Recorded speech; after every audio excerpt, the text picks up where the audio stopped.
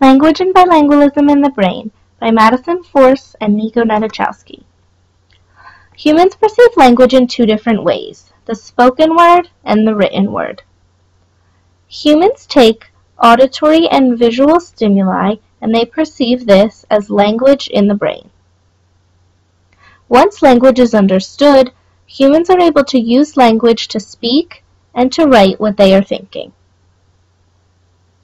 There are two main brain systems involved in language, Wernicke's area and Broca's area. In 90% of people, these areas are lateralized on the left hemisphere of the brain. Wernicke's area is responsible for the comprehension of speech, and Broca's area is responsible for the production of speech. These two language areas are connected by the arcuate fasciculus. This is a track of white matter that carries information in both directions in between the two areas. When perceiving spoken language, the sounds come in through the auditory pathways to the primary auditory cortex in the temporal lobe. The primary auditory cortex is located on the superior temporal gyrus. The frequencies are then transferred to Wernicke's area where they are made sense of, and across the arcuate fasciculus to Broca's area where they are repeated in your head when you think about the words. Perceiving written language, the pathways have an extra step. The written words are perceived when the primary visual cortex in the occipital lobe receives visual stimuli from the eyes. This cortex is called V1.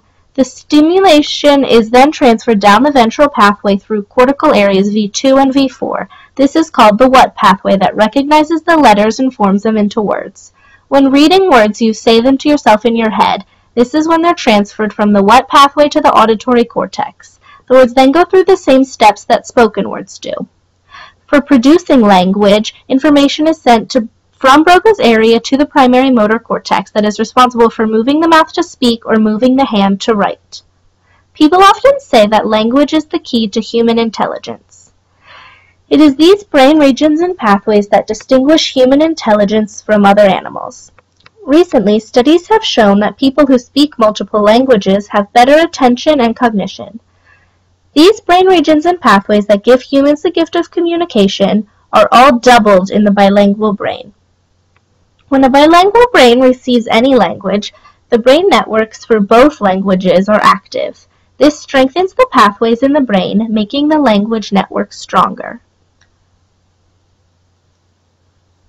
Thinking, understanding, speaking, or writing in just one language requires deliberately paying attention to one and deliberately ignoring the other language.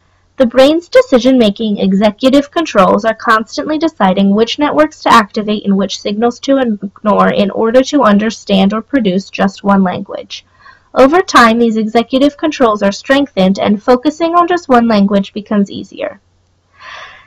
These executive controls do not only coordinate language in the brain, the executive functions are used for directing focus, paying attention, prioritizing, planning, controlling, judging, and analyzing everything that comes into the brain.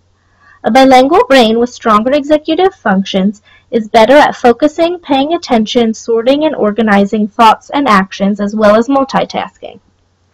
Bilingualism benefits the brain throughout an entire lifespan. Over the years, our brains age, which leads to loss of cognitive function and memory. Researchers suggest a way to combat this cognitive loss is by keeping the brain active. You could do this with crossword puzzles or playing an instrument. But recent bilingual research is showing that speaking multiple languages may be the best way to combat the damaging cognitive effects of aging because you use language in every minute of every day. If language is the key to human intelligence, then bilingualism must be the key to increasing human intelligence.